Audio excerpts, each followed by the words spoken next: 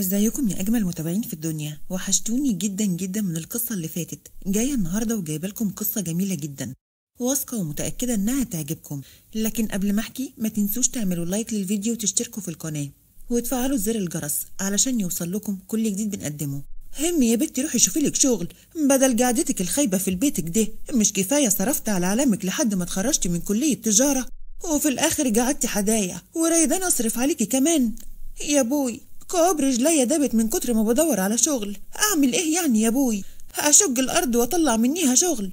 ماليش فيه. شوفي هنيه أي حاجة اشتغلي فيها وهاتي فلوس.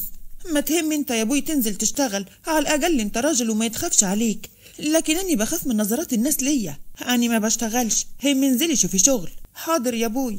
أني صفية خلصت كلية تجارة من سنتين ومش عارفة أشتغل بشهادتي. عايشة مع أبويا وللأسف أبويا راجل عاطل وخمرجي هو متكل عليا في كل حاجة.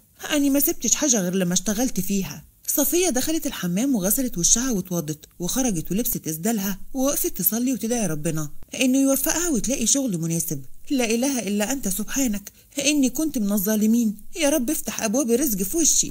صفية نزلت تدور على شغل وهي نازلة قابلت جارتها أم آدم وقالت إزيك يا صفية؟ أخبارك إيه يا بنتي؟ الحمد لله يا أم آدم. يا بنت مش دايما بقولك تبقي تقولي لي يا أم حضرة الظابط أول ما صفية سمعت سيرة حضرة الظابط قلبها رفرف من الفرحة. إلا بصحيح هو آدم أخباره إيه؟ غاب وجال عدولي باين كده عجبته العيشة مع بنتة مصر زين يا بنتي هو كل ما أقوله تعالى هنا اخدم في سوهاج في وسط أهلك وناسك. يقول لي أنا مرتاحة هنا يما في القاهرة. مش عارفة عاجبه إيه في القاهرة دي. ده اني روحتها وحسيت فيها بكرشة نفس من الزحمة يا أختي وفيها ناس ياما. بسمع إن القاهرة دي حلوة قوي يا خالتي ولما بيجي مشاهد في التلفزيون من شوارعها بتبقى شكلها حلو قوي يا خالتي يا أم حضرة الظابط جدعة يا صفية أنا كده أحبك لما تقولي لي يا أم حضرة الظابط إلا أنت خدتيني في الكلام هو أنت نازلة كده ورايحة على فين؟ رايحة أدور على شغل يا خالتي. أبويا مصحيني من النجمة عشان أنزل أشتغل وأجيب له فلوس. أبوكي ده عديم المسؤولية. ما كفاهوش اللي ياما عملوا مع أمك. بيعملوا معاكي دلوك. ادعي لي يا خالتي. ربنا يرحمني من الشقا والبهدلة دي. ربنا يرزقك بابن الحلال اللي يصونك ويحافظ عليك يا بنتي. ويرحمك من اللي انت فيه ده عاد. ويهدي لك أبوكي. مع إن اللي زي ده عمره ما يتهدي. مفيش حاجة بعيدة عن ربنا يا خالتي. فوتك بعافية. هنزل أدور على شغل قبل ما الدنيا تليل. وفي محل ملابس. اتكلمت صفية وقالت لو سمحت في شغل موجود ليا. أنا خريجة كلية تجارة. ممكن أشتغل في الحسابات أو أي حاجة مش هتفرق بقى. أيوة فيه ولو ما فيش يبقى فيه عشان خاطرك انتي صفية قلقت منه وبصت له بخوف وقالت في سرها ربنا يستر. طب هبدأ الشغل من متى يا؟ هو بصحيح اسمك إيه؟ اسمي عادل. والشغل لو تحبي تشتغلي من دلوقتي. هم اشتغلي. بجد مش عارفة أشكرك إزاي. الله يخليك ويوسع رزقك. وفي البيت عند رضوان. ها لقيت الشغل ولا زي كل يوم؟ جاية بيدك فاضية عاد. الحمد لله يا أبوي ربك كرم بشغل. بس أكيد يعني يا أبوي مش هقبض فلوس من أول يوم. مش هقبض فلوس من أول يوم شغل عاد. هتقبضي كام؟ معرفش يا أبوي هقبض اللي أقبضه. المهم أجيب أي فلوس. طب اسألني الأول هتشتغلي إيه وفين؟ مش مهم يا بنتي. المهم الفلوس.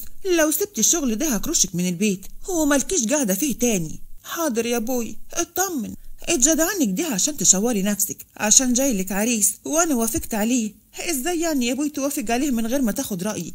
هو أني كيس جوافة؟ هو مش أنا اللي هتجوز؟ هو من متى وإحنا عندنا بنتا بناخد رأيهم في الجواز؟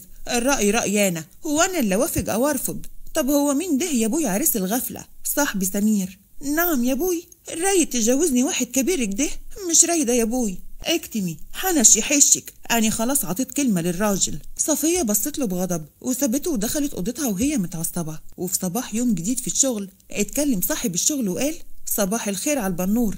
المحل نور بوجودك يا صفية. شكرا لحضرتك. ورايدة منك طلب وكنت محروجة منيك. هو لو ما فيهاش إحراج يعني ممكن تجبضني أصل عندي ظروف وكده ومستعجلة على الفلوس.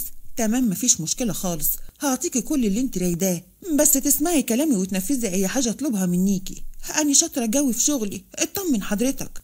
إلا مطمن. ده أني مطمن جوي. صفية في سرها بتقول ربنا يستر. قلبي مش مطمن لك ولا لنظراتك. بس ما فيش في يدي حاجة أعملها. أنا لو سبت الشغل أبويا هيكرشني من البيت. ربنا يستر بقى. في البيت عند صفية ورضوان. اتكلم رضوان وقال جبت فلوس يا بت انتي ولا زي كل يوم؟ مفيش معايا يا بوي.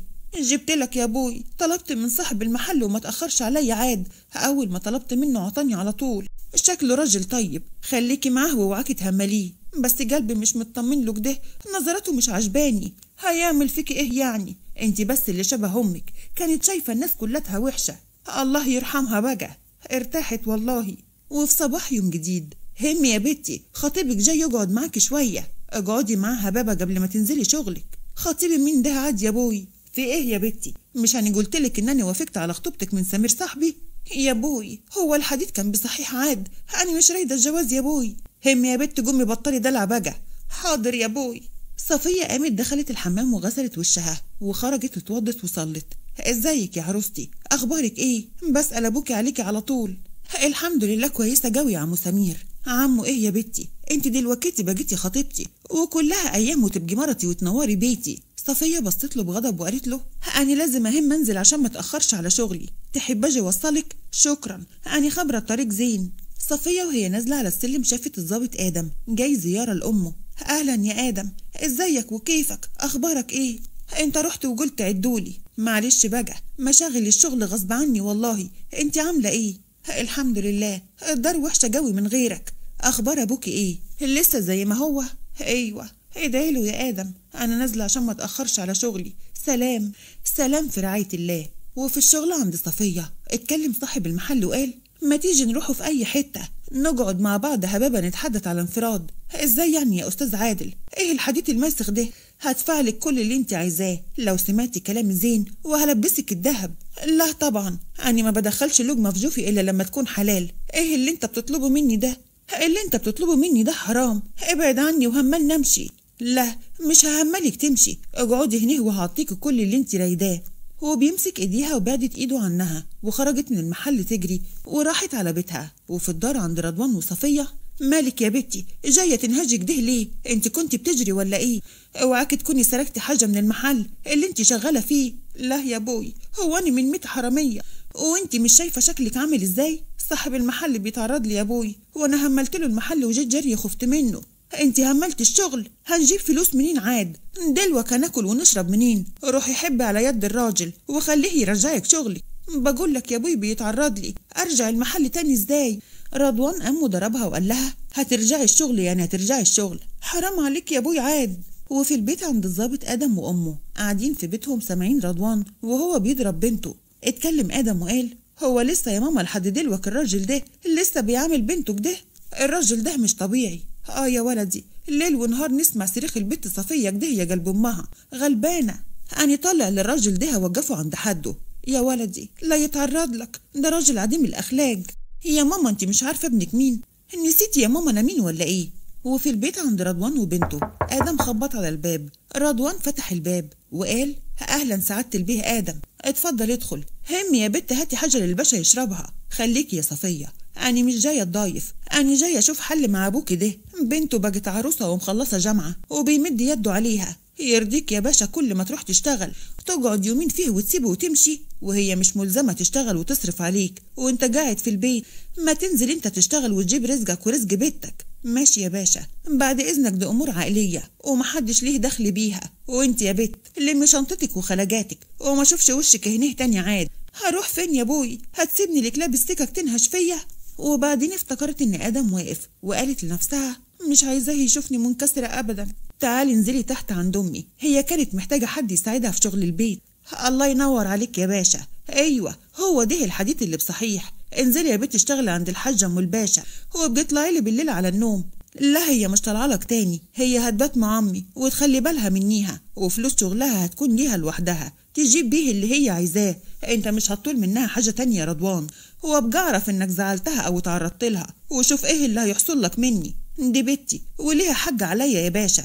آدم بصله بغضب وقال لصفيه انزلي يلا عند أمي. وفي بيت آدم اتكلمت أم آدم وقالت حبيبتي يا صفية أبوك ده منه لله ما بيتهدش. صفية هتساعدك في البيت يا أمي. وعشان كمان لما أبقى مسافر أكون مطمن عليكي إن في حد معاكي. صفية في سرها بتقول يا ترى أنت بتحبني زي ما أنا بحبك ولا بتعمل كده عشان صعبان عليك؟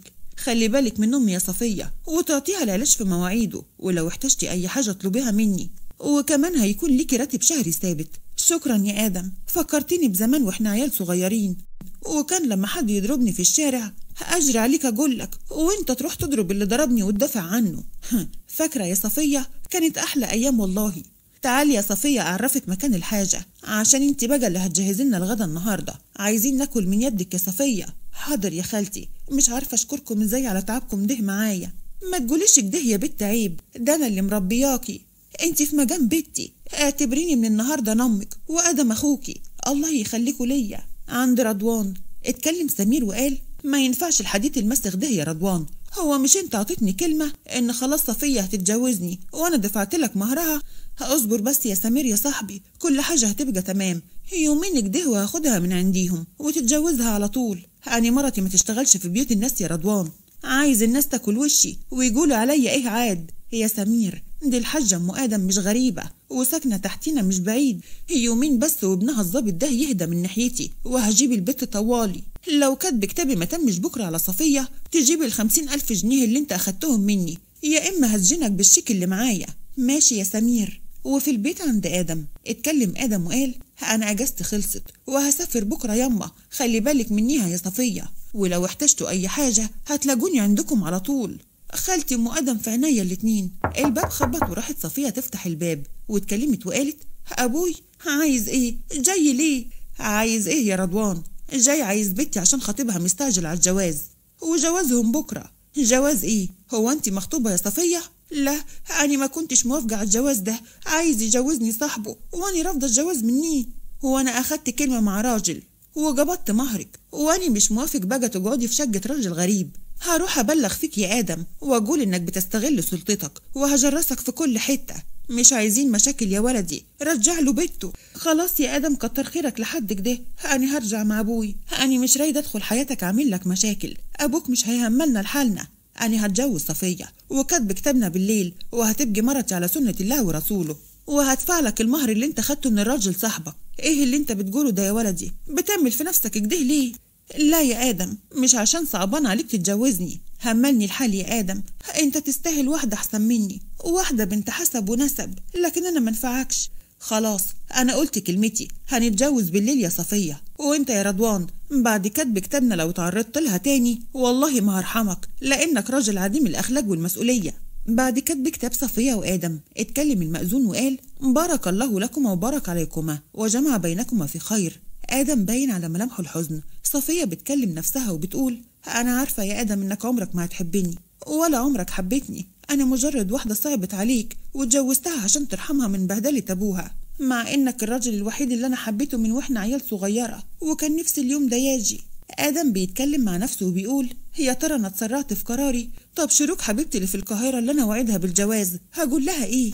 أم آدم قاعدة بتحاول تداري غضبها من اللي آدم ابنها عمله وقربت من آدم وقالت له بصوت منخفض مش دي الجوازة اللي كنت بتمناها لك يا ولدي. كنت رايدك تتجوز بنت حسب ونسب. بعد كتب الكتاب اتكلمت صفية وقالت أنا هدخل أحضر لكم العشاء. صفية دخلت المطبخ. أما أم آدم قالت أنت راضي يا ولدي عن الجوازة دي؟ ليه عملت في نفسك كده؟ أنا شايفة الحزن في عينيك وما تكدبش عليا يا ولدي. ياما صفية صعبت عليا. البت غلبانة وملهاش حد. هو أنا فعلا مش متقبلها كزوجة ولا هقدر أتقبلها في يوم من الأيام. هو هيبقى جواز على الورق وبس لحد ما أبوها ده يهملها لحالها. وهي يا أمي قاعدة معاكي بتاخد حسك عشان أبقى مطمن عليكي وأنا مسافر. صفية واقفة وسامعة كل كلامهم وهم مش شايفينها. اتكلمت أم آدم وقالت يا ولدي هي عشان صعبت عليك تتجوزها؟ طب يا حبيبي ما كنت تعطيها قرشين وخلاص. ياما أبوها عايز يجوزها راجل أكبر منه. إزاي أقف أتفرج على أبوها وهو بيبيعها بالرخيص كده هي مسألة وقت بس لحد ما هي تحل مشاكلها. صفية سمعت كلامهم كله وفضلت تبكي وتمسح في دموعها. خرجت حاطت الأكل على الترابيزة علشان ياكلوا. اتكلم آدم وقال اقعدي عشان تاكلي معانا يا صفية. لا أنا داخلة أنا. كلوا أنتوا. صفية سابتهم ودخلت أوضتها. شكلها سمعتنا يما وإحنا بنتكلم. زين إنها سمعت يا ولدي عشان تبقى خبرانة راسها من رجلها. ما هو حرام عليك برضه تعشمها بحاجة مش هتحصل. خايف أكون جرحتها يما أنا هدخل أنام لأني عندي سفر الصبح بدري. تصبحي على خير يا أمي وأنت من اهله يا ولدي. وفي صباح يوم جديد في القاهرة آدم في شغله في الاسم بتاعه. قاعد بيفكر يا ترى اللي هو عمله مع صفية ده صح ولا غلط؟ الباب خبط ودخلت شروق حبيبته وقالت وحشتني يا آدم كل ده غياب. معلش كان عندي ظروف كده في البلد. المهم أنت إيه اللي جابك هنا؟ بابا عنده جلسة النهارده. فجيت معاه أعمل لك مفاجأة وأشوفك. أخبار معالي المستشار إيه؟ وصحته عاملة إيه؟ وحشني والله. الحمد لله كويس. بيقول لي أنا زهقت منك انت وآدم. مش عارف هتتجوزوا إمتى بقى. آه المهم اتكلمت مع والدتك بخصوص موضوعنا. آدم بارتباك لا لسه ما عرفتش أتكلم معاها. عندي ظروف في البيت وكده هو ده ينفع يعني آدم؟ بابا مش هيقبل بالوضع ده. لازم تتكلم مع والدتك في أقرب وقت. وتجيبها وتيجي البيت تتقدم لبابا. ماشي يا شروق. طب قوم يلا خرجني نتغدى بره. عندي شغل مش فاضي. ما تزعليش مني. هعوضك مرة تانية. الأيام جاية كتير. تمام أنا نازلة أخرج مع أصحابي. استني هو إيه اللي أنت لابساه ده؟ مش أنا قلتلك قبل كده كتير. إنك ما تلبسيش قط ولا قصير. أنا راجل صعيدي وبغير على أهل بيتي. بطل رجعية بقى يا آدم. هو ده ستايل لبسي. هو مش هغيره. بلاش تكون رجعي أيوه أنا راجعي. وبعرف ديني كويس. ومش هقبل إن مرتي في يوم الناس تتفرج عليها وهي ماشية. لما أبقى مراتك. يلا سلام. شروق سابته ومشيت. وهو بيتكلم مع نفسه وبيقول هو أنا فعلا بحبك يا شروق ولا بحب فيكي نسبك وعيلتك؟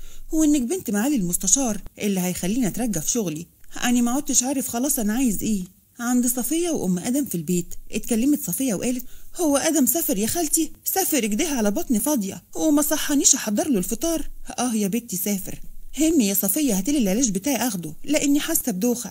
قامت صفية تجيب العلاج ليها ورجعت لقيت الحاجة أم آدم وقع في الأرض. خالتي أم آدم مالك يا خالتي؟ فوقي يا خالتي الله يخليكي فوقي. في المستشفى أم آدم نايمة على السرير والدكتور قال الحمد لله إنك لحقت الحاجة في الوقت المناسب. لا قدر الله لو ما كانتش اتلحقت كانت دخلت في مضاعفات خطيرة. هي كان حصل لها إيه يا دكتور؟ غيبوبة سكر. هي كانت منفعلة أو حد زعلها؟ لا ابدا يا دكتور. هي كانت قاعدة كويسة وبتتكلم معايا. بس كانت دايخة. هي هتخرج من المستشفى متى يا دكتور؟ يومين بس على ما حالتها تستقر ونظبط لها السكر. بعد شوية صفية قاعدة على الكرسي جنب أم آدم علشان لو احتاجت حاجة. تليفون الحاجة أم آدم بيرن. وكان آدم هو اللي بيتصل على أمه. فصفية ردت عليه وقالت له ألو أيوة يا آدم. إزيك يا صفية؟ أنا برن من بدري على أمي. هي مش بترد عليا ليه؟ طمنيني عليكم. أنا جلقان. أمي فيها حاجة. اطمن يا آدم. هي بس تعبت شوية ورحنا على المستشفى. وشوية بس لما تفوق هخليها تكلمك. أمي في المستشفى؟ ليه؟ حصل لها إيه؟ أمي عاملة إيه دلوقتي طمنيني عليها يا صفية؟ بالله عليكي قولي لي الحقيقة. أمي فيها إيه؟ أمك بقت كويسة والله يا آدم. هي بس كل الحكاية إن هي كان السكر عالي عليها شوية وحاجزينها في المستشفى لحد ما يتظبط. أنا هسافر وجاي لكم. مسافة السكة وأكون عندكم. أطمن على أمي بنفسي. مفيش داعي لجلجك يا آدم. أنا معاها وخلي بالي منيها. خليك أنت في شغلك. أنا جاي. مع السلامة يا صفية. خلي بالك منيها لحد ما أجي. بعد ساعات في المستشفى. اتكلم آدم وقال أمي عاملة إيه دلوقتي يا دكتور؟ طمني عليها. اطمن يا آدم باشا. هي جت المستشفى في الوقت المناسب والحمد لله اتلحقت. شكرا لك يا دكتور. الدكتور مشي. واتكلم آدم لصفية وقال مش عارف أشكرك إزاي يا صفية على اللي عملتيه لأمي. لولاكي معاها كانت أمي لا قدر الله حصل لها حاجة. أنت وأمك كتر خيركم على اللي عملتوه معايا. قعدتوني في بيتكم وحميتوني من أذى أبويا. اتكلم آدم لأمه وقال ألف حمد لله على سلامتك يا أمي. مش تجمد كده يا بطل. اكده تجلجيني عليكي. ليه يا ولدي جيت المشوار ده كله؟ كنت خليك في شغلك. ليه يا صفية قلتيله عند آدم وصفية وأم آدم في البيت. اتكلمت صفية وقالت جهزت لكم الغدا يا حاجة قومي كلي لك لقمة ترم عظمك. خد صدر الفرخة ده مني يا آدم. هيعجبك قوي. تسلم يدك يا بنتي. صفية طلعت جدع قوي يا آدم. ربنا يخليها لنا يا حاجة آدم بص على صفية ولاحظ في عيونها فرحة من كلامه فقال لنفسه أنا مش عايز أعشمها بحاجة لا تفتكر إن أنا عايزة أتجوزها بجد. وقام قايل كنت عايزك يا حاجة تيجي معايا القاهرة علشان تخطبي لي بنت معالي المستشار شروق اللي كنت كلمتك عليها. يا ماما ما ينفعش كده اتأخرنا عليهم قوي يا حبيبي يا ولدي ربنا يفرحنا بيك.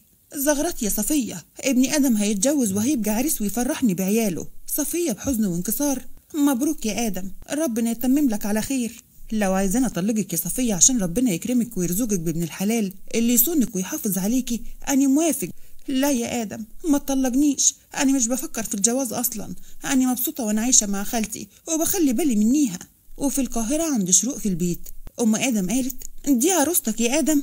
البت زينة. ما شاء الله عليك يا بنتي. الله أكبر زي البدر في تمامه. تقولي للجمر جم وأنا اقعد مكانك معالي المستشار بتكبر. أمك شكلها طيب وغلبان قوي يا آدم. امي تعبت وشجيت لحد ما كبرتني ووصلتني للي أنا فيه ده وهفضل فخور بيها طول عمري. أم آدم بتطبطب على ظهر شروق وبتقول لها يا زين مختار ابني. قامت شروق بعدت عنها علشان إيد أم آدم ما تلمسهاش. آدم شاف المنظر وخد باله واتضايق من اللي شروق عملته مع والدته. اتكلم معالي المستشار وقال بنتي طبعا يا آدم أنت هتجيب لها شقة هنا في القاهرة واستحالة هتعيش معاك في الصعيد. للأسف يا معالي المستشار بنتك قاعدة وجرفانه من أمي واني جزمه أمي في جراسي واللي هتجوزها هتحط أمي في عينيها ومن الظاهر كده إنني وبنتك مش هنتفق في الموضوع ده فمن البداية كده بدل ما نتعب مع بعض بعد كده كل واحد في حاله. أنت أكيد اتجننت يا آدم أنت بترفض بنتي خد أمك دي واطلع بره بيتي أنا أصلا ما شرفنيش نسبكم. اشكرك يا معالي المستشار. آدم خد إيد والدته ورجع على بيته. اتكلمت أم آدم وقالت حقك عليا يا ولدي. لو كنت أنا السبب في إنك ما تتجوزش حبيبتك. أنا أصلا عمري ما حبيتها يما أنا كان عاجبني فيها النسب والحسب. كان تفكيري وقتها غلط. والحمد لله إن أنا فقت في الوقت المناسب. وبصراحة يا أمك ده أنا معجب بحد تاني. مين دي يا ولدي؟ صفية يا أمي أنا عايزها فعلا. هي دي اللي أنا حبيتها بجد. عارفة يا أمي أنا نزلت القاهرة تاني يوم بعد جوازي منها ليه؟ عشان أبعد عنها وأحاول أنساها لكن تفكيري كله كان فيها. يا ولدي بس دي مش شبهك ولا من مستواك الاجتماعي. ليه ياما بتقولك ده؟ صفية متعلمة معاها كلية تجارة وتقدر تشتغل في أي مكان كويس بشهادتها لكن هي اللي ظروفها صعبة. أنا بحبها والله يا ولدي زي ما تكون بنتي وشفت منيها حنيتها عليا. ربنا يوفقك يا ولدي ويجعلها خير الزوجة الصالحة ليك. يلا ننام لنا ساعتين يا أمي قبل ما نسافر. المشوار طويل. وفي الصعيد في البيت عند صفية. اتكلمت صفية وقالت ممكن أطلب منك طلب يا آدم. قبل ما تسافر كنت قلت لك إن أنا مش عايزة أتطلق لكن دلوقتي أنا عايزاك تطلقني. عشان أنا لو مكان خطيبتك شروق هتضايق وهزعل واني مش عايزة أخرب لك حياتك. بس اني خلاص مش هتجوز شروق. أنا عايزك أنت يا صفية في حياتي. أنت اللي شبهي ومني. أنا كنت سمعت كلامك كله مع أمك بعد كتب كتابنا. مش عايزة إن أنا أصعب عليك. ما تبوظش حياتك علشاني وفي الآخر ترجع تندم. لو سمحت يا آدم طلقني. لا يا صفية مش هطلقك. أنا عايزك. أنا طالعة بيت أبويا. وتبعت لي ورقة طلاقي عنده فوق. استني يا صفية. لكن صفية تجاهلته وسابته وطلعت عند بيت أبوها. صفية سابتني يما فاكراني إني بتجوزها عشان هي صعبان عليا. أنا مش عارف أعيش من غيرها يما بتحبها جو كده يا آدم. آه يما بحبها من وإحنا عيال صغيرة وكنت بحاول انساها لكن للأسف معرفتش وفي البيت عند صفية اتكلمت أم آدم وقالت إزيك يا صفية؟ غبتي وقلتي عدولك ده هي بنت هنت عليكي ما تجيش تسألي عليا. هو أنا يا بنتي مش في مجام أمك؟ والله يا خالتي كنت وحشاني جوي بس تاني كان لازم أبعد. هو ده الصح يا خالتي عشان آدم يعيش حياته مع اللي بيحبها مش عايزة أخرب له حياته. طب ما انت اللي آدم بيحبها آدم مش رايد حد غيرك يا بنتي وإحنا عند البت الملحوسة اللي كان رايد يخطبها هو اللي رفضها يا بنتي كان بيحاول ينساكي بيها لكن معرفش صدقيني يا صفية آدم عايزك انتي هم انزلي يا بنتي معايا لجوزك. أنا بحب آدم جوي يا خالتي من وإحنا لسه عيال صغيرة. تصدقي الواد آدم لسه جاي لي الكلمتين دول هم يا بنتي ننزل بيتنا قبل ما أبوكي ياجي. وفي البيت عند آدم وصفية اتكلم آدم وقال أسعد يوم في حياتي النهاردة طول عمري بحلم إن أنا أكون مرتك. ولما دخلت كلية الشرطة وبقيت ظابط كنت بقول لنفسي استحالة. بعد ما بقى ظابط هيتجوزك انتي. انتي مش قليلة يا صفية. انتي طول عمرك شاطرة ومجتهدة وتستاهلي كل خير وأحلى قرار أخدته في حياتي. هو إن أنا أكمل معاكي حياتي وأكون فخور بيكي قدام الدنيا كلها إنك مرتي. الحمد لله. عوض ربنا حلو جوي إن بعد العسر يسر. الحمد لله إن ربنا عوضني بيك أنت. وعاشوا مع بعض حياة سعيدة. وخلفوا بنات وأولاد. ولحد هنا خلصت قصتنا. وأتمنى تكون عجبتكم واستنوني في قصص تانية كتير. دمتم في أمان الله.